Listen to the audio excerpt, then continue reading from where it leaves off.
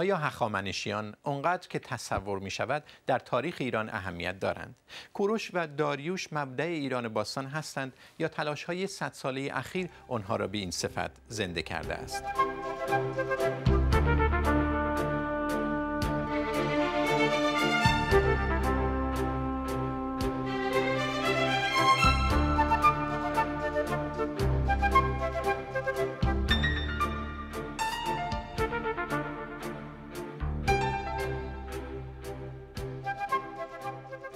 سلام من داریوش کریمی هستم. تخمین زده می شود در اوج قدرت سلسله هخامنشی. جمعیت امپراتوری ایران بالغ بر 50 میلیون بوده و این برابر است با اندکی کمتر از نصف جمعیت تقریبی کره زمین در آن زمان. پس هرچه از اهمیت اون امپراتوری در زمان خود بگوییم کم گفتیم. اما آیا میراث هخامنشی در شکلگیری فرهنگ و هویت ایرانی در دورانهای بعد سهم بسزایی داشته است؟ آیا حاصل کار کوروش و داریوش و هم اسران آنها به سلسله های بعدی منتقل شد؟ دودمان های پس از آن از جمله ساسانیان که نقش مهمی در شکل دهی به فرهنگ و تمدن ایرانی داشتند از میراث هخامنشی چقدر بهره بردند؟ آیا برآمدن هخامنشیان در تاریخ نگاری یک صده گذشته ناشی از اسطوره پردازی با اهداف سیاسی نبوده است؟ آنچه ما در مورد هخامنشی ها می‌دانیم را از کدام منابع گرفتیم و چه عواملی دست به دست هم دادند تا این منابع بتوانند دوره هخامنشی را به صفحات درخشان تاریخ ایران تبدیل کنند از مهمانهای این هفته می‌پرسیم چه چیز منشور کوروش و کتیبه داریوش را در حافظه جمعی ایرانی ها تثبیت کرد؟ فرهاد آثار پژوهشگر تاریخ ایران باستان و به طور اخص کارشناس سکه دوران اشکانی خداداد رضاخانی استاد تاریخ ایران باستان در دانشگاه لندن سارا مشایخ دانش آموخته تاریخ ایران باستان و وریا امیری دانشجو اما سخت علاقمند به مباحث مربوط به تاریخ ایران باستان. خیلی خوش آمدید. آقای آثار آیا واقعا هخامنشیان اینقدر که تصور میشه مهم بودند؟ جواب ساده اینه. بله مهم بودن و دلایلی هم داره. از لحاظ کشورگشایی و تاسیس اولین امپراتوری خب هخامنشی ها پیش قدم بودن از لحاظ هنر معماری خب قبل از اونها به اون صورت هنر معماری وجود نداشته اگر داشته اثر زیادی ازش نمونده. و اون چه اونها تر انداختن ماندگار بله دقیقا. بله. از لحاظ به وجود آوردن اولین سیستم خط که تقریبا الفبایی باشه خب هخامنشیان پیش قدم بودن که خط میخی پارسی رو به وجود آوردن. البته در جنبه های دیگر سلسله های بعدی مثلا اشکانی یا ساسانی. به عنوان مثال شما اگر سکه های اولیه ساسانی را با سکه های اولیه اخامنشی مقایسه کنید می‌بینید از نظر هنر ساسانیا برتر, برتر بودن. به طور قابل ملاحظه ای ولی خب در سایر مواردی که توضیح دادم هخامنشی ها ارجحیت داشتن به بقیه سلسله های قبل از اسلام ایران. در زمان خودشون کسی نمی‌تونه در اهمیتشون تردید کنه. دقیقا. اما بحث اینه که چقدر این اهمیت منتقل شد چقدر در هویت و فرهنگ ایرانی اینها سهم به سزا دارند. به عقیده من البته با همونجور که توضیح دادیم من تخصصم بیشتر در رشته اشرانیه.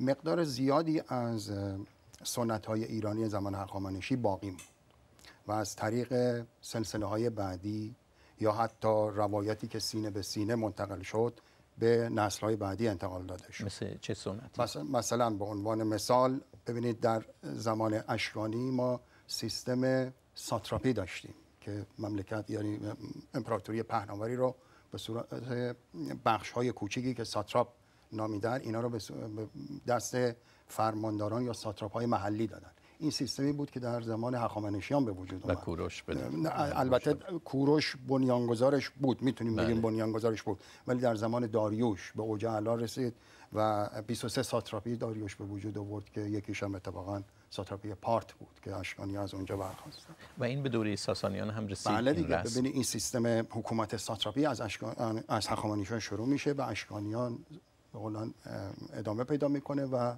به ساسانیان ختم میشه. این, این ترتیب هم معماری بله. هم سنت حکومتداری بله. دوره هخامنشی به دودمان های بعد رسید. چنین آقای رضاخانی.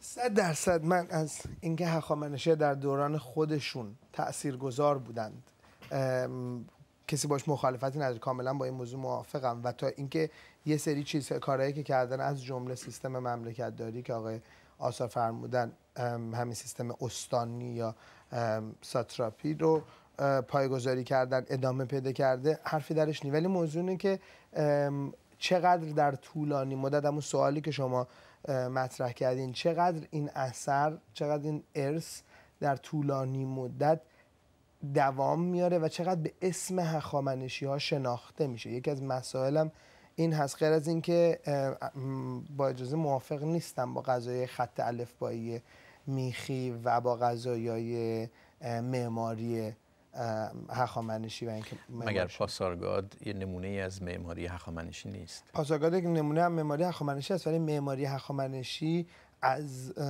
پاسارگاد یعنی معماری از اونجا شروع نشده. معماری پاسارگاد یک مجموعه از معماری منطقه آشوره.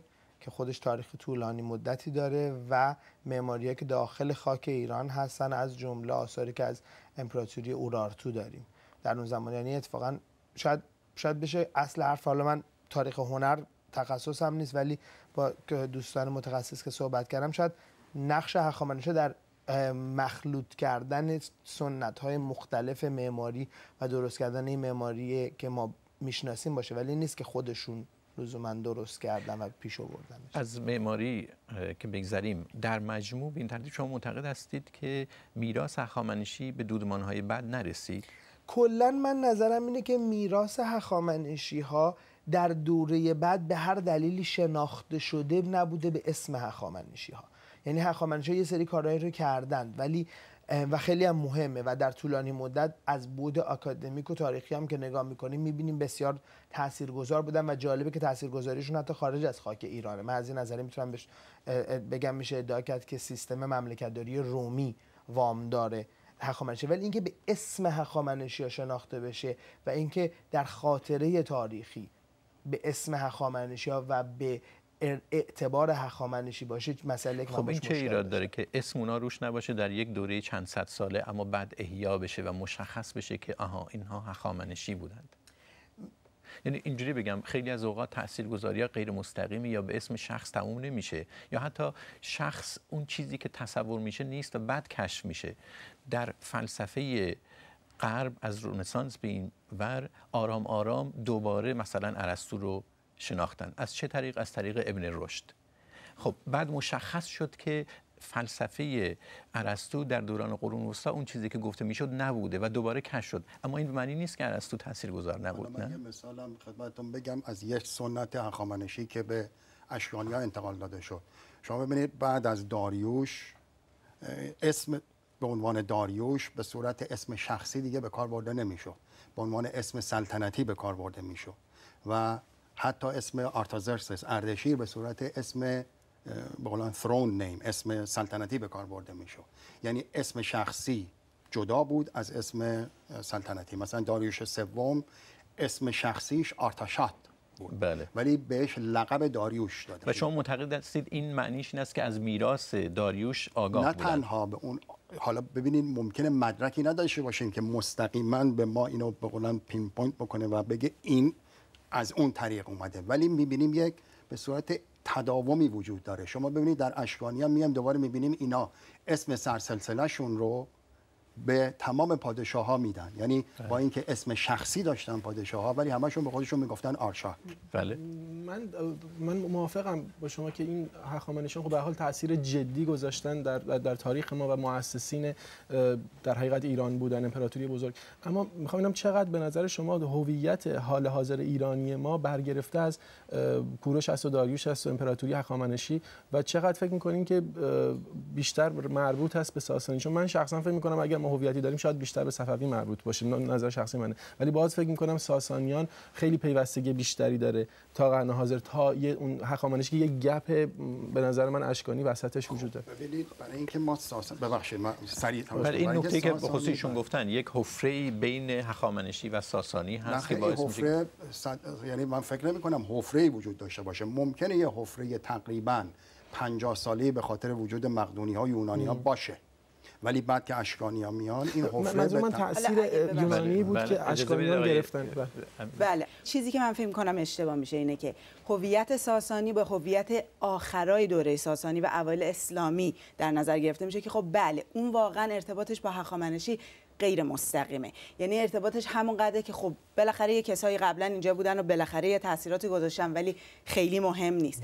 ولی دوره اول دوره ساسانی اوایل دوره ساسانی اون دوره که اتفاقا به نظر من خیلی خیلی مهمه در شکلی فرهنگی که حتی داره امروز در ایران جاریه. و اون دوره و از هخامنشیان با خبر و بودن. اون دوره ارتباط خیلی مشخصی با هخامنشیان داره. باز حالا اسنادش چی هست؟ خب باز این چیزی نیست که ما مثلا واقعا مدرکی نداریم که اسم برده باشن که یا گفته باشن مثلا هخامنشی هیچ وقت همچین چیزی نیست. ولی دوره اول ساسانی. کاملا معلومه که اون داستانی که اواخر دوره ساسانی هستش که ما اصلا اجدادمون کیانی هستن. و اصلا تا یه تاریخ اسطوره‌ای برای ایران درست شده که با تاریخ واقعیت تاریخی هست یکی نیست. این مال آخر دوره ساسانی. اول دوره ساسانی اصلا اینجوری نیست. اول دوره ساسانی کاملا معلومه که خودشونو وصل می‌کنن خودشونو وصل می‌کنن. چندین تا خب نمونه های خیلی زیادی از شاید یکی از معروف ترینش این باشه که خب نزدیک تخت جمشید دم نقش رستم اردشیر میره و نقش های ساسانی هست. بله. معلومه که این محل یه معنی برای اینا داشته. فکر می‌کنم توی نظم بخشیدن به صحبت اینه که یکی هستش که در دوره تاریخی و از نظر تاریخی در دوره خودشون و دوران بعدی خودشون چه تأثیری دارن. که من به این صورتی انکار نمی کنم حالا چقدر واقعا تاثیر دارن در همین جزئیات می‌تونیم بحث کنیم. یه مسئله بحث خاطره تاریخی ماست. درسته. یه مسئله بحث اینه که ما وقتی داریم قبل از اینکه حالا تاریخ نگاری نو که امیدوارم راجبش صحبت بکنیم بیاد خاطره تاریخی که ما در ایران داریم برمیگرده به خسرو انوشیروان به ساسانی ها برمیگرده. اواخر دوره این, ساسانی. این سوال خوبیه. یعنی شما معتقد هستید حافظه جمعی ایرانی ها هویت و فرهنگ ایرانی بیشتر از ساسانی سیراب میشه تا از هخامنشی. چرا؟ به, به نظر من بخوا... خب یه مقدار زیادی اینه که ما اصولا در ایران فرهنگمون رو با ادبیاتمون میسنجیم و ادبیات ما یه ادبیات اوایل دوره اسلامیه. یه ادبیاتیه که اثر تاریخ نگاریش رو در تبری می‌بینیم در تاریخ های محلی و می‌بینیم در شاهنامه می‌بینیم. در شاهنامه می‌بینیم و در چیزهایی که مدل شاهنامه نوشته شدند می‌بینیم. به خاطر نزدیکتر هم هستن ساسانی ها خب آخرین دودمان قبل از اسلام پادشاهی قبل از اسلام یعنی جو- از لحاظ زمانی نزدیکتر از این صورت صورت ایدئالیزه تاریخ ایران باستان در ادبیات ایرانی صورت ایدئالیزه اواخر دوره ساسانیه. ولی حرفی نیست که اوایل دوره سا... من, من, من مشکل دارم با اینکه اوایل دوره ساسانی هم خبری از هخامنشیان داشته باشم. به نظر من به نظر من دارای دارایانی که اینا می‌بینن دارای دو... دارایان دوم پادشاه م... پ- پرسیس پادشاه پارس اه، یعنی داره اردشیر خودش رو به عنوان دنبال روی پادشاهان محلی منطقه که ازش میاد می‌بینه. و لزوما اینه که خب تصور ببینید همون کانال احتمال اینه که اطلاعاتی ضبط شده باشه سینه به سینه یا حالا حتی به صورت نوشته چون خط دارن در روی سکه های پرسیس. منتقل شده باشه احتمالش زیاده من فکر یعنی نمی کنم معتقدید یک که خلأ هخامنشی وجود ها به اومده شکل غیر مستقیم شاید تاثیرگذار بودن بله خب ببینید بالاخره اینا. سینه به سینه گشته و ما این نامه بله. خسروانی که فردوسی بهش رجوع می‌کنه این بالاخره خودش اشاره به میده که شاهان یک بله دیگه یک. چیزهایی مونده که نامه به شما خسروان می‌رسیم. من فکر من فکر می‌کنم یه ذره حتی از غیر مستقیم مستقیم تره برای اوایل دوره ساسانی اولا که یه جواب حرف ایشون رو می‌خواستم بدم خیلی ادبیات مهمه و صد درصد خاطره تاریخی ما به همون فردوسی و شاهنامه و اینا برمیگرده. ولی تنها مورد مهم هویت نیست. یکی از موارد خیلی خیلی مهم هویت که فکر نمی کنم هیچ کسی بحثی داشته باشه که اهمیتشو که اسم مملکت باشه. این از مستقیما از دوره اول ساسانی داره میاد بدون حرف. و اون دوره اول ساسانی اون وقت اونجاییه که حالا قسمت دوم اینه که چقدر اینا آشنان. من فکر می‌کنم که اینا بیشتر از اونی که ما الان صحبتش شد. از هخامنشی یا خبر و در مورد دارای دارایان. دارای دارایان بله. دارای دارایان احتمالا خیلی احتمال داره که با اون شاه محلی پرسیس این استوره رو تقویت کرده باشه ولی خاطره اینی که دارای دارایان کسی که با اسکندر جنگیده با. حتی تا آخر دوره ساسانی باقی حتی میمونه حتی گفته میشه که مانی وقتی از اردشیر نامی بره میگه دارا اردشیر. مسئله اینه که خب شما شما یه مقدار افسانه پردازی ها هم داریم و افسانه ها همونجوری که توی شاهنامه برای اینکه ربط بدن ساسانیان رو به کیانیان به بهمن میگن بهمن اردشیر و یکی از خطای شجرنامه ای که اردشیر رو وصل می‌کنه به سلسله کیانیان مثلا در تبری از طریق یه نفری به اسم ساسان که پسر بهمنه. شما اینا رو می‌تونید می‌تونید اینو بگی. ولی معنیش این نیستش که لزوما برای شخصی که داره این لقب رو به کار می‌بره وجود تاریخی مثل هخامنشی ها وجود داره و, و کاری که ما ازش و, و اینکه مملکت 50 میلیونی که حالا اگر عددی که شما دادید درست باشه به مملکت 50 البته خیلی از تاریخ نگارا در مورد اون بحث دارن. ولی نظر غالب الان این است که 50 میلیون بوده جمعیت امپراتوری در موقع بله. که خدا گفت می‌خواستم اشاره کنم که اگر فردوسی هم نامی برده یک ساسانی رو نام برده که برادر دارا بهشون ول کرده کار مملکت رفته. آها یعنی فردوسی ضرورتاً و بعد خواسته رفت بده دقیقاً اردشیر رو مد نظر نداشت ولی دقیقاً اون قسمت قبل از یعنی تا قبل از اسکندر قسمت شاهنامه فکر می‌کنم موافق باشین که خیلی به, به افسانه مربوطه. یعنی بیشتر به قسمت غیر تاریخی شاهنامه است. بعد از اردشیر و اسکندر که اسکندر و بعدش اردشیر که ما خیلی با دقایق تاریخ تاریخی شاهنامه مطابقت داره. شفاهی که قالبه. یعنی ببینید چند صد سال تاریخ ایران از طریق شفایی منتقل شده. بله. طبیعتا در این سنت شفایی جزئیات ظرافت نامهای دقیق منتقل نمیشه. اما خاطره یک امپراتوری بزرگ منتقل میشه نه؟ ببینید از اشکانیان هیچ بله ننوشته میگه از اشکانیان هیچ نشیدم یه چیزی در مورد اون قسمتی که شما گفتیم که این سنت ایران و اسم ایران به عنوان یک زبان گویش و یک مردم به کار رفت اون یک ملت نیشن در مورد هخامنشی حداقل ایران به کار نرفته. اوایل ساسانی این مسئله که نشون میده تاریخ پونس... تقریبا 500 ساله اشکانی می‌تونه تقریبا نامود بشه تا زمانی که به دست فردوسی می‌رسه. خب نشون همین خودش ما می‌تونیم از این استفاده کنیم از این دلیل از این مدرک و نشون میدیم که بسیاری از چیزهای دیگه ای هم که تا زمان فردوسی ممکن بوده از بین رفته باشه در زمان خودش و شاید 100 سال یا 200 سال بعد از خودش از بین نرفته بوده چون ما یه تاریخ بله. 500 ساله اشکانی بله. داریم که اونجا بوده سوال رو به یه شکل دیگه هم طرح بله. کنیم که نزدیک به اون شکلی که آقای رضاخانی پیشنهاد کردن تقریبا همه تاریخ نگارها اعتقاد دارن که ساسانیان احساس تعلق ایجاد کردن در میان ایرانی ها و مفهوم ایران شهر از دوره ساسانیان شکل گرفت آیا در دوری هخامنشیان این احساس تعلق در میان کسانی که زیر مجموعی این امپراتوری بزرگ بودن وجود داشت؟ واقعا به وجود اومده بود. خب. اگر ما کلمه ایران رو مشتق از همون کلمه ایرین آریا بگیریم خب بله این شما داریوش اولین کسی که ادعا می‌کنه من یک آریایی هستم و زاده یک آریایی.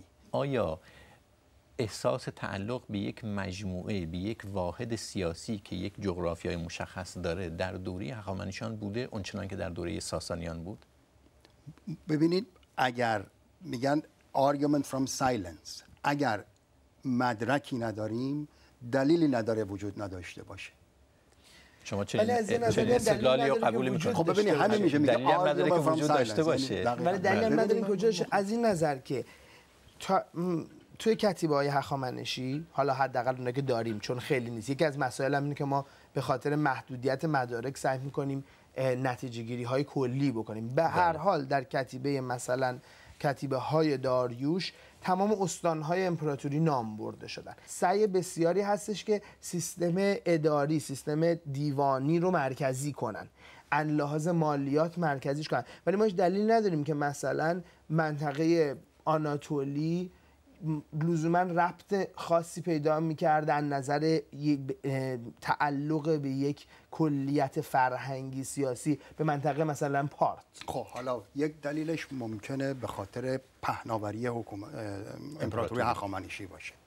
شما امپراتوری اشکانی و ساسانی رو که با هخامنشی مقایسه می‌کنید می‌بینید قسمت هایی رو اون هخامنشی ها در دست داشتن که هیچ وقت به دست اشکانی و ساسانی ها نیفتاد مخصوصا اون قسمت یونانی نشین آناتولیا بله. خب شاید این درایت هخامنشیان رو نشون میده که نخواستن اون سنت پیورلی پرشین به صورت خالص پارسی رو به یک عده یونانی نشین در اونجا اعمال کنن که باعث شورش و به قولن مسائل یعنی اگر احساس تعلق قوی در دوره هخامنشی به وجود نیومد به دلیل این بود که درجه بالایی از خودگردانی خب داده شد به شما اینو دقیقا در منشور کوروش کبیر می‌بینید که کوروش وقتی بابل رو فتح می‌کنه هیچ نوع حکومت پرشین پارسی نمی‌خواد اونجا اعمال بکنه. من فکر می‌کنم که اون جایی رو که به عنوان اصل فرهنگ ایران می‌گیرن و خیلی شبیه می‌دونن به اونی که امروزه هست اونجا جا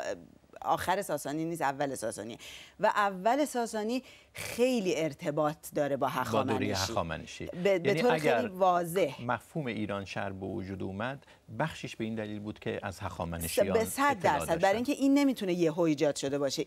برگردیم به این موضوع منشور کوروش. آیا شما آقای رضاخانی قبول ندارید که این نوع حکومت داری که کوروش رسم کرد آیا ماندگار نشد و خود این یک از های هخامنشی نیست؟ به نظر من یه نظر بزرگی نه. در در حافظه جمعی ایرانی در چندین دهه اخیر به یه دلایلی ولی فقط به دلایل اقراقی مثل اولین اعلامیه حقوق بشر حک شده.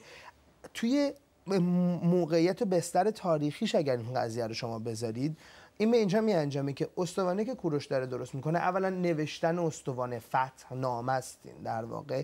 یه چیزی که کاملا رسم. در منطقه بابل و آشور خیلی هم وجود داره قبل از این هم هست. بله. لحنی که داره راجع به صحبت می‌کنه رو می‌تونین شما از خیلی نظرها متوجه بشین که هر کسی این کارو می‌کرده این لحن می‌کرده. من همیشه مثالم اینه که کسی انگار بره نیویورک رو فتح کنه بعد بره بزنه وال استریت خراب کنه.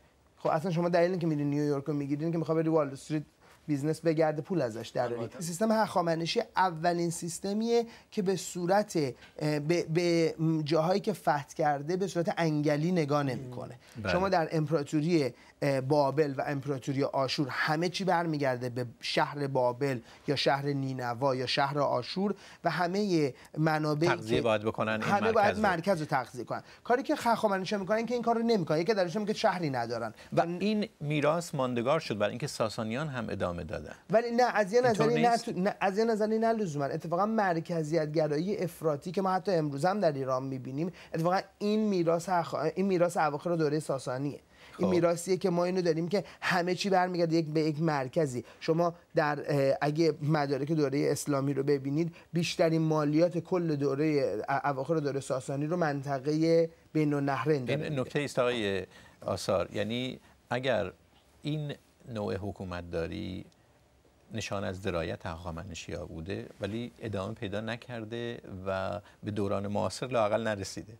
خب صحیح.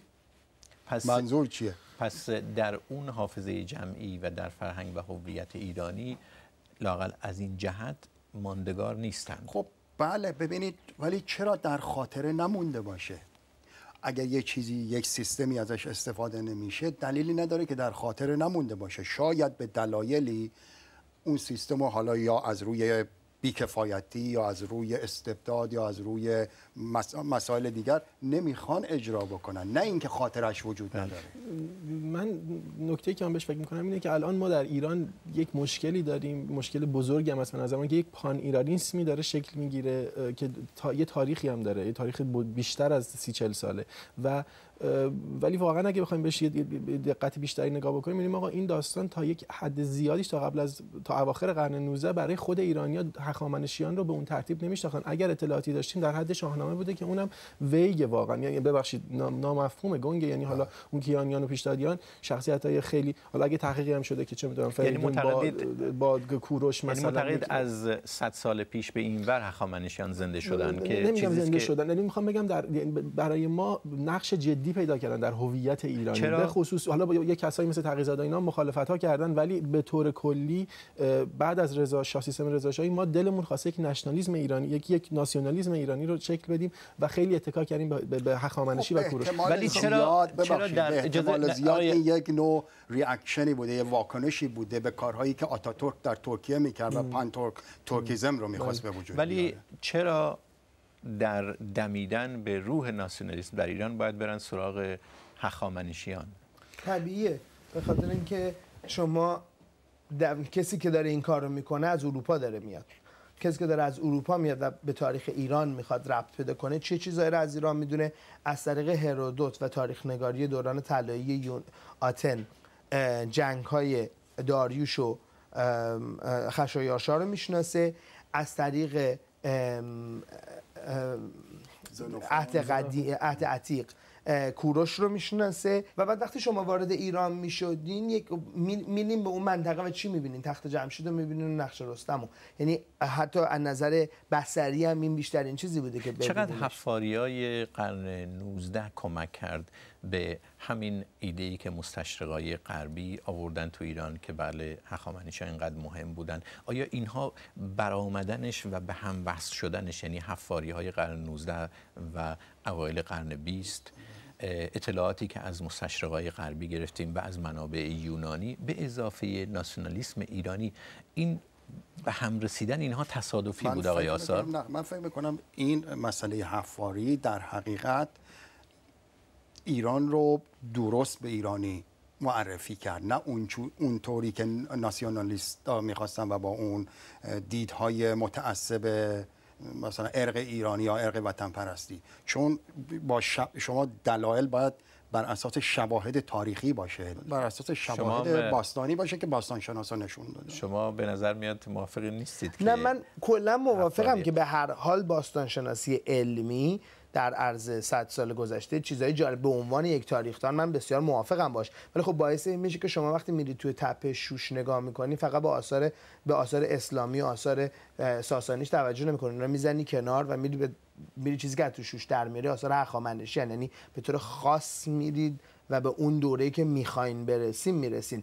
از یه نظری خیلی خوبه. هخامنشی رو به ما معرفی کردن. ولی من یه قسمت یه, جو، یه دونه از صفت هایی که آقای آثار دادن باش مشکل دارم. اونم اینه که تاریخ درست.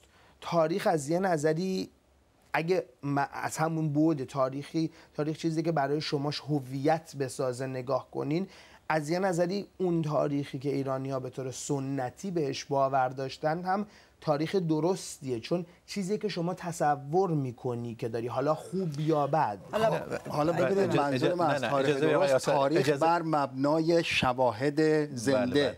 بله،. نه من صد درصد موافقم که این اتفاقات صد ساله اخیر یهو بزرگ کرد هخامنشی ها رو. حداقل اسمایی رو که ما حتی اگه حافظه تاریخی هم در حافظه تاریخی ما چیزی بود این اسم کوروش و هخامنش و این چیزا خب چیزایی که اسم نیست خانم مشایخ. مثلا در تاریخ ایرانی که فروغی می نویسه در دوره رضا در تاریخ ایران باستانی که پیرنیا می نویسه و اینها دو شخصی هستند که هخامنشی رو بار دیگه به روایت های تاریخ ایران برمیگردونن دیگه. اینا نه فقط اسامی رو وارد کردن بلکه یک روایتی رو ایجاد کردن که هخامنشی رو وصل کرد به دوره پهلوی بله. من کاملا این در این که در واقع یه روایوال دوباره زنده شده احیایی شده. احیا شده تاریخ هخامنشی اینو کاملا قبول دارم. ولی فکر می‌کنم که راه و مشکلاتی هم ایجاد کرده که همطور که ایشون گفتن. راهش این نیستش که اینو در واقع چی میگن؟ بزنیم کنار. راهش اینه که اون واقعیت رو نشون بدیم. واقع واقعیت به نظر من باز دوباره برمیگرده به همونی که من دارم میگم. اون تاریخی که همونطور که ایشون گفتن در ذهن ما هست. اون تاریخ تاریخ آخر ساسانی نیست. اون تاریخ تاریخ اول ساسانیه. ممکنه یک تاریخ اول ساسانی گره خورده با بله هخامنشیان ممکنه یه المنت هایی ازش مال آخر ساسانی باشه ولی خیلی ها مال اول ساسانی من می‌خوام یه مثال بزنم که حالا این برمیگرده به معماری. خب من اینو باز کاملا قبول می‌کنم. معماری هخامنشی اون معماریه که بعدها دوباره برای ما زنده شده و بزرگ شده. ما وقتی که فکر معماری ایرانی رو می‌کنیم چیزی که میاد تو ذهنمون یه ساختمونیه که شبیه مسجده که سقف اینجوری گرد داره و اون رنگ های آبی که شما تو اصفهان می‌بینین و اون کاشیکاری اینا. خب این مال آخر ساسانی اول اسلامی نیست. این مال اول ساسانیه. شما برین قصر اردشیر بابکان در فارس رو نگاه کنین همون معماری رو داره. بعد توی اون قصر شما یک تزئیناتی می‌بینین که کاملا معلومه این تزئینات از هخامنشی از از تخت جمشید اومده. بله. یعنی یک آثاری توی اون بله. قصر هست. که. من در مورد اینکه هویت بیشتر نکته من بود که هویت جدید ایرانی چقدر به هخامنشی مربوطه یعنی در مورد جلال و جبروت و بزرگی هخامنشی کسی شکی نداره. بزرگی کوروش هم من یعنی شاید یکی از بزرگترین شخصیت های تاریخ ماست. اما نکته من اینه که ما اون چه که از هخامنشی می‌دونیم یه مقدار اونی که هرودوت نوشته و زنافن نوشته و حالا اگر توی مکالمه افلاطون هم یه اشاره کرده ارسطو با یه پارمنیدس دارن صحبت می‌کنن یه اشاره می‌کنن که ایران محل عدالت است. حالا در این بوده که چنینه واقعا آقای امیری. یکی از عناصر مهم هویتی زبانه. زبان فارسی تا چه حد تأثیر گرفته از اون نوع فارسی که در دوره هخامنشیان استفاده می‌شد؟ و چقدر؟ گفتن این که در دوره ساسانیان بود که فارسی در فارسی برآمد کرد. این فارسی درسته. بیشتر از پهلوی میانه است که راست صحبتی که البته آقای امیری داشتن می‌کردن هم صحبت جالبی بود در مورد اینکه ما ذکری که هم دنباله همین حرفی که ذکری که ما از هخامنشی ها چقدر می‌دونیم به خاطر چیزی که بقیه یعنی از خارج انعکاس داده شده. خودتون در مورد گفتید، زبان و دیگران، بله. زبان فارسی و به عنوان اینکه آیا ای در شکلگیری این هویت چقدر این زبان مهمه. زبان فارسی که ما امروز صحبت می‌کنیم برمیگرده به یک زبان مخلوطی که عامل گسترش اسلام در قرون اوایل اسلامیه. داره از منطقه خوزستان و جنوب بین النهرین توسط فارسی زبانان مسلمان به بقیه ایران گسترش داده میشه کما اینکه در منطقه خراسان یعنی خراسان بزرگ در منطقه تاجیکستان ازبکستان امروز به از بین رفتن زبان سغدی که مثلا زبان اصلی محلی بوده منجر میشه. بله این زبان به دوره هخامنشی برمیگرده. درسته حرفی هم درش نیست. ولی ام اولا که من همیشه میگم یه عاملش یه عامل تصادفه. این زبان می‌تونسته به راحتی زبان پارتی باشه. کما اینکه زبان پارتی رو زبان فارسی امروزه ما تاثیر بسیار زیادی هم گذاشته که خودمون هم شاید نمی‌دونیم. ولی به هر حال زبان پارتی هم اولا می‌تونه کاملا عامل تصادف باشه. دوم اون فارسی که در داره در جنوب عراق امروزه در جنوب بین النهرین و خوزستان صحبت میشه این ربط مستقیم به فارسی هخامنشی نداره. برای اینکه یه گویش متفاوته. یه گویش کاملا خب متفاوت این, اون گویش این که یه. گویش متفاوت فارسی که به ما رسیده متفاوت از اون چه که هخامنشی هست. این درست این نکته. اما واقعا نکته اولی که گفتید رو میشه قبول کرد. آیا یک زبان میمانه صرفا به دلیل تصادف؟ میشه هم چیزی رو قبول کرد؟ محبوب میشه به دلیل تصادف. نه اینکه لزوما ادامه پیدا می‌کنه. ادامه پیدا کردنش به ادبیاتش ربط داره. ادامه پیدا کردنش به مقبولیت عامش ربط داره. ولی اینی که و اینها عامل تصادف درش هست. این عامل تصادف درش نیست. ولی اینکه اصلا اولین دفعه یه نفری مثل مثلا رودکی یا حتی ابو حفص سغدی یا حنظله بادغیسی تصمیم بگیره به فارسی شعر بنویسه بله. این می‌تونه کاملا عاملش تصادف و یه مقدار فشارهای سیاسی باشه. که این خب فشار تصادف با فشارهای سیاسی در اون صورت فرق می‌کنه. این نکته حالا است که پس حالا من می‌خواستم بپرسم تصادف چه عیبی داره و اصلا چه اهمیتی داره؟ مقدار زیادی از چیزهای تاریخی رو ما می‌بینیم. تاریخ هر جای دنیا رو نگاه کنید. نه فقط زبان که خیلی چیزا. تصادفی. تصادفه که اگه این اتفاق الان نمیافتاد مثلا اگر اون موقع ویلیام فاتح نمیومد و چه کاری نمی‌کرد. الان ممکن بود اصلا تاریخ دنیا خب حالا که شده حالا اه، مهم اینه که الان اون زبان برمیگرده. زبانی که به دوره هخامنشی ما رو وصل می‌کنه از- البته ایشون میگن یه گویش متفاوت از فارسی بله بوده. گویش متفاوت از فا... ولی یه زبان متفاوت نیست. مثل مثلا بله. آلمانی اتریش و آلمانی آلمان. یعنی بله. به هر حال آلمانی هم مسئله تصادف رو میگین از تقریبا اواسط قرن 19 هم به بعد همین مسئله تصادف پیدا کردن کتیبه های بابلی به زبان اکدی می‌دونید چه مقدار به دانش, بله. تاریخی ما از زمان هخامنشی اشکانی کمک کرده بله. ولی تاریخ ما فقط محدود نیست به منابع یونانی و لاتین اتفاقا با در دست داشتن منابع بابلی ما می‌تونیم بفهمیم چه مقدار از اون مسائلی رو که بابل که یونانی ها و لاتین به زبان لاتین ثبت شده چه مقدارش درسته؟ صحت و سقمش رو بر مبنای منابع بابلی که منابع همزمان یا خیلی نزدیک و همزمان هستن بر اساس اونا بسنجیم. فرمایش جناب آثار دقیقا مسئله که من می‌خوام از اول گفتم باید ما این دوتا رو مشخص کنیم. از نظر تاریخی از نظر مدرک شناسی تاریخی از نظر شناخت برای کسانی مثل بنده آقای آثار و دوستان اینجا که تاریختان هستن می‌خوان در موردش کار کنن صد درصد هخامنشی ها بسیار مهمن. هخامنشی ها نقش خاصی دارن. حتی گفتم من از یه نظر یه ادعای بزرگتری از خیلی از وطن پرستان حتی می‌کنم که سیستم مملکت داری هخامنشی در واقع اولین سیستم امپراتوری واقعی دنیاست. یعنی شما رومی ها هم ازش تقلید رومی ها بله. می‌کنن و این ادعایی نیست که فقط شما نه یعنی میگم نه, بله، نه منظورم اینه که منظورم که در نظر تاریخی رو باید جدا کنیم. بله. موضوع اینه که یک نفری مثل تبری که دانش تاریخی ما در عرض هزار سال گذشته. از اون که ما ایران یه هویتی پیدا کرده به آدم های مثل اون برمیگرده تبری از این مداره که اکدی اطلاعی نداره. تبری حتی از هرودوت هم اطلاعی نداره. تبری اگه زنوفون هم اطلاعی نداره. تبری داره تاریخی که می‌نویسه و تاریخی که داره درست می‌کنه. حالا به هر اسمی حالا یا ایرانی یا عجم یا هر جوری می‌خوای بگی داره اون تاریخی رو درست می‌کنه که من قبول دارم. از یه نظری یه, یه المانای کاملا اوایل دوره ساسانی هم درش هست. من من راجع به این بله. اوایل اواخر دوره ساسانی اون دیستینکشنی که شما می‌ذاری رو انقدر نمی‌ذارم.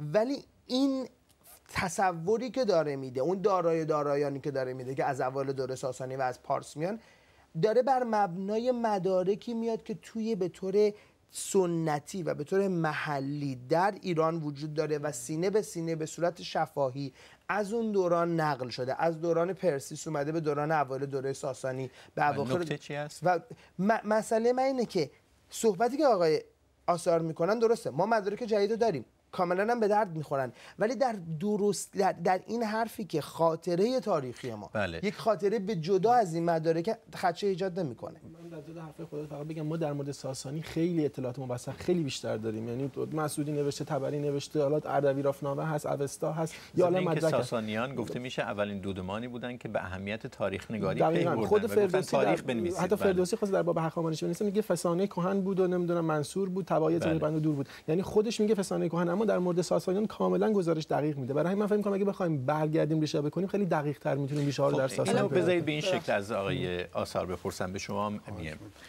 اون چه که ما در مورد هخامنشیان می‌دونیم غالبا از منابع اگر نگیم دست دوم منابع غیر مستقیمه. بله. مثلا ما می‌دونیم که در تورات چقدر کوروش بزرگ داشته میشه. بله.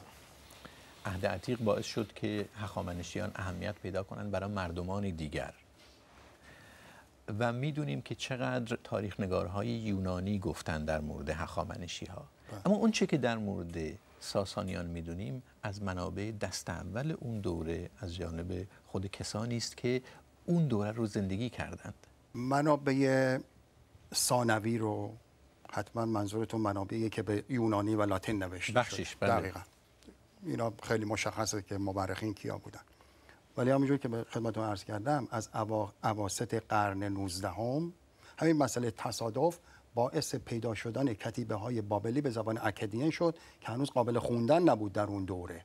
اینا بعد به توسط چندین دانشمند آلمانی و انگلیسی و اینا ولی تا پیش از قرن بیستم در یه دوره ای که اینها شناخته نشده بودن این منابع اون چه که حافظه جمعی ایرانیا رو تشکیل می‌داد منابعی بود که در دوره ساسانیان نوشته شده بود و از ساسانیان می‌گفت. دقیقا. خب ببین در این شکی نمی‌تونه باشه. چون این سلسله به صورت سلسله وقتی پیشرفت می‌کنه خب ساسانیان بعد از اشکانیان بودن اشکانیان بعد از هخامنشیان. پس یه ولی... انقطاعی بوده و خب آیا میشه گفت که بعد از این انقطاع بار دیگه وقتی هخامنشیان خب اگر انقطاعی بوده بله.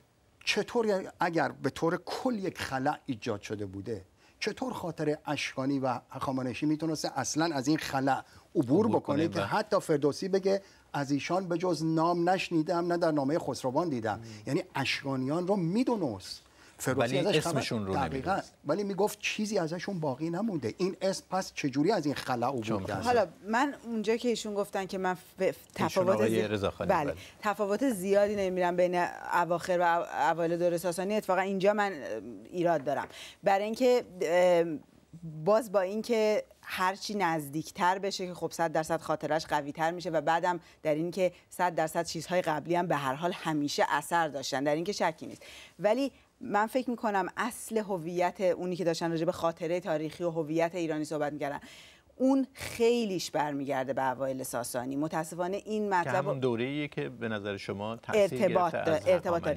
یکیش خاطره تاریخیه که بله قبول دارم توی فردوسی و تو تبری کمتر حرف زده میشه. اولا که توی اونها هم هنوز خاطره تاریخ که اون دارای دارایان باشه. دارای دارایان کیانی نیست. دارای دارایان ربطی به اوستا نداره. میگن با اسکندر جنگیده. یعنی کاملا این تاریخه. حتی تا آخر دوره ساسانی هم رسیده و ما فقط می‌تونیم فکر کنیم که چقدر در اول دوره ساسانی این قوی تر بوده. بعدم خاطر تاریخی یه قسمت از فرهنگ و هویته. مقدار چیزای زیاد دیگه هم هست که مثال مثلا معماری رو زدم مثال اسم بله. مملکت. اینا کاملا برمیگرده به اول ساسانی و من فکر می‌کنم حتی شاید به اواخر اشکانی اول ساسانی. ما مدرک از که ما در یکی از بحث‌های این برنامه داشتیم اون چیزی که حافظه جمعی شمرده میشه غالبا خود اون یه برساخته متأخر دیگه. وقتی ما الان میگیم که ساسانیان در حافظه جمعی ما بیشتر نقش داشتن راجع به چیزی صحبت می‌کنیم که ممکنه 200 سال پیش به یه شکل کاملا متفاوت بوده. باشه. بنابراین خود این حافظه جمعی هم یک چیز خیلی محکم و استواری نیست که. بتونیم بهش استناد کنیم. اما می‌خوام یه سوالی بپرسم به سمت آخر برنامه که میریم که به سوال اصلی هم رفت پیدا می‌کنه. که میراث هخامنشی ها چه هست و تا چه در فرهنگ و هویت ایرانی نقش داشتن. این سوال این است که اگر اینقدر در زمان خودشون مهم بودن چی شد که یک بار مزمحل شدند؟ ما در واقع حتی تو دوران مدرن با همه مدارکم ما میگیم کوروش داریوش خشایارشا من با شما مطمئنم از 180 ملت ایران بپرسیم بعد از خشایارشا کی شاه میشه. شاید اردشیر درازدست رو بدونم ولی تقریبا مطمئنم هیچ کسی نمی‌دونه بعد از اردشیر درازدست کی شاه میشه. بعد میره تا داریوش سوم. یعنی بله. حتی تصور مدرن ما هم از هخامنشی تصور بسیار منقطعیه. و نگاه کردن به این امپراتوری بزرگ هست. خاطره شخصی مثل کوروش کمتر مونده. خاطره شخصی مثل داریوش بسیار مونده. ولی به صورت خیلی ایزوله تصوری که ما از تاریخ هخامنشی به عنوان یک سلسله غیر کامل سلسله که ادامه پیدا کرده و هیچ جای قطع نشده تصور غلطیه. ما شخصیت های تاریخ هخامنشی رو می‌شناسیم. شخصیت های خاصیشون رو می‌شناسیم در مدارکی مثل عهد عتیق به شخصیت های خاصی فقط شبیه کوروش یا احاسوئروس اشاره میشه. ولی عملا تو تاریخ نگاری ما هیچ حالتی از اینکه این یک دونه سلسله منسجم و بدون انقطاعی بوده ارائه نشده نشده. به همین دلیل صحبت از ازمهلال این سلسله منسجم به نظر شما یه مقدار اه، گمراه کننده است. چنینه؟ ببینید در اینی که حکومت هخامنشی حداقل دو شاخه شد در اون حرفی نیست چون یک شاخه از طریق کوروش با کمبوجه و بردیا خاتمه پیدا کرد و افتاد سلطنت به دست داریوش که البته خب اون یه برنامه جداگانه ای بله، لازم بله. داره که نشون بدیم داریوش چجوری بله. سلطنت رو قصد برگردیم به کرد سوال بله. اصلی علت انقراض. علت. انقراض حکومت هخامنشی نه به خاطر اون بیکفایتی داریوش سه داریوش سه رو در منابع یونانی و لاتین خیلی بهش کم لطفی کردن چرا؟ چون می‌خواستن اسکندر رو یک بالا ببرن. بالا ببرن. منابع جدید بابلی الان به ما نشون میده که مثلا به عنوان مثال داریوش سوم آخرین نفری بوده که از صحنه جنگ گوگاملا که برخلاف اون چیزی که رو- رومی ها لاتین و یونانی میگه که اولین کسی بود که صحنه جنگ رو ترک کرد آخرین کسی بوده که صحنه جنگ رو ترک می‌کنه. علت سقوط حکومت با کفایت نمی‌کنه داریوش نه سوم حالا ببینید علت علت شجاعتش رو میرسونه بله. خب ببینید ضد و نقیص ها رو که شما پیدا می‌کنید می‌بینید اون تاریخی رو که یونانی ها و لاتین به ما دقیق دادن نیست. دقیق نیست خب، داریوش خب سوم در اصل خیانت یکی از سرداران بزرگش به نام مازایوس مازیار شکست و. دلیل دلیل- انقراض یک امپراتوری بزرگ رو شما خیانت یک سردار می‌بینید خب ببینید در یک جنگ به این اهم- با اهمیتی که به قولن تمام سروایوال زندگی یک امپراتوری بستگی به اون داره اگه یک سپاه شکست بخوره بله. فکر نمی‌کنید این ها همه با هم متحد یک از یک نژاد از یک زبان ما داریم یک امپراتوری چند یعنی تو ارتش ایران از ارمنی بوده حتی هندی داشتیم پارس بله، داشتیم ما داشتیم و. اینها انگیزه برای اینکه. زیر یک پرچم دلیل بجنگن شاید انقراض. سلسله هخامنشی دو تاست یکی زیرکی اسکندر که هیچ حق نمیشه ازش گذشت بسیار آدم زیرکی بوده که از موقعیت ها دوم، دوم خیانت سرداران ایرانی به شما. نظرتون چیه؟ من با این هدیه صحبتی داشتم در این مورد که نه من صد درصد فکر نمی کنم تفاوت نژادی و تفاوت صحبت کردن و اون که اونا از یه نژاد و یه گروه بودن برای اینکه اونا میان و بعدها بقیه به اینا به اون ارتش میپیوندن. فکر نمی کنید که همگونی نژادی برای اینکه آخر اصلا اینجوری نیست. یونانی ها عامل نه. اصلی بوده نه برای اینکه در طول سفر و در طول همین جنگ هاش هی آدما از ها نژادهای متحد دیگه بهش. میپیوندن از خود ایرانی ها به لشکرش میپیوندن بله. و میرن طرف هند این صحبت آقای این صحبت آقای امیری رو در مورد گونه‌گونی نژادها اقوام در حوزه سرزمینی ایران به یه شکل دیگه هم بعضی از تاریخ نگارها گفتن گفتن بعضی از امپراتوری ها و این بیش از هر چیز شاید در مورد هخامنشیان صدق می‌کنه اونقدر بزرگ میشن که دایناسور، به یک مرحله ای که. می‌رسن دیگه نگه داشتنشون بله، با اون عامل بزرگی. بزرگی امکان پذیر نیست خود آیا چنین چیزی رو گرفتن گرفتنشون سخته ولی نگه داشتنشون راحت تر برعکس یک شهر شما نمی‌تونی یک مثال. خیلی واضحش امپراتوری خود اسکندر تا زمانی که زنده بود تونست اون امپراتوری عظیم رو نگه داره. همچی که مرد سردارانش تقسیمش کردن از بین رفت. یعنی نشون میده که یک امپراتوری بسیار وسیع به سطح و به خصوص با این درجه بالای خودگردانی به مناطق خودگردانی. امک- با, با زیاد شدن تعداد مدعیان سلطنت با زیاد شدن تعداد شاهزادگان. هر چقدر این سلسله پیشرفت می‌کنه تعداد شاهزادگان و مدعیان بیشتر میشه این خودش اون عوامل به قولم متلاشی شدن امپراتوری رو به وجود میاره یه, یه بحثی هستش که اون از این جداست. بحث سایز ایدئال امپراتوری ها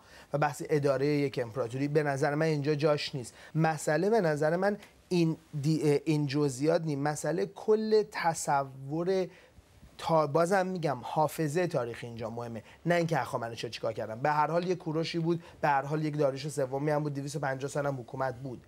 مسئله اینه که ما الان از این سلسله و از این دوران چه تصوری داریم چی میبینیمش؟ حتی یه نفر تاریخدانی هست به اسم آقای پیپریان که میگه اصلا آخرین پادشاه هخامنشی واقعا اسکندره. یعنی اسکندر خودش در واقع یک پادشاه هخامنشیه. مسئله این نیست. ما اینو داریم چی می‌بینیم و داریم چی تصور می‌کنیم که بوده و کجا رو عامل انحطاطش می‌بینیم و کجا رو عامل سقوطش می‌بینیم. و به نظر من همونجوری که من سوال اول شما رو جواب دادم ما امپراتوری هخامنشی رو حتی امروزه هم به صورت فرگمنت داریم می‌بینیم. پاره پاره می‌بینید پاره پاره می‌بینیم. بله. ما داریم یه جای تاریخ هخامنشی رو بهش اشاره می‌کنیم. در اوج تاریخ هخامنشی رو می‌گیریم که امپراتوری داریوش و خشایارشا باشه و بعد داریم بقیه رو تصور می‌کنیم که هم همش همینجوری بوده تا یه دفعه شخصیتی مثل. اسکندر اومده و از بین برده. نه لزوما این نیست و به خاطر اینه که تاریخ اسم داریوش به جا میمونه ولی سلسله داریوش به جا نمیمونه. دارا هست. حالا این چه دارای دارایان باشه در سلسله پارس چه دارا- داریوش بزرگ داریوش سومی باشه که داره با اسکندر میجنگه. بسیار خب اگر صحبت دیگه نیست فکر می‌کنم این پایان مناسبیه برای برنامه. فقط یه نکته اضافه. بکنم در مورد هویت فقط چون ما خیلی شروع همه چیز رو از کوروش می‌دونیم و در این ایرانیسم جدید خودش رو به کوروش و داریوش نسبت میده من می‌خواستم بگم واقعا چرا دلیلی چرا دلیل خوبی نداریم برای اینکه خودمون رو به دیاکو و هوخشتر و اینا نسبت بدیم چون اونا هم کارهای بزرگ کردن ولی خود به خود ما از هخامنشی می‌خوایم داستان رو شروع بکنیم اینم حالا ب- بله اون یه بحثی است که. بله. بسیار خوب خیلی ممنونم. به آخر برنامه این هفته پرگار می‌رسیم ممنون از شما که این بحث رو دنبال کردید و همینطور از مهمانهای برنامه فرهاد آثار خداداد رضاخانی سارا مشایخ و وریا امیری. این برنامه را روی وبسایت ما با آدرسی که روی صفحه ظاهر شده می‌تونید ببینید. اگر نظری دارید یا علاقه دارید در برنامه شرکت کنید حتما از طریق همین آدرس برای ما ایمیل کنید. ضمن تمام برنامه های ما روی صفحمون در فیسبوک آرشیو شده و فیسبوک جایی که می‌تونید همین بحث رو درش ادامه بدید. شب و روز بر همه شما خوش.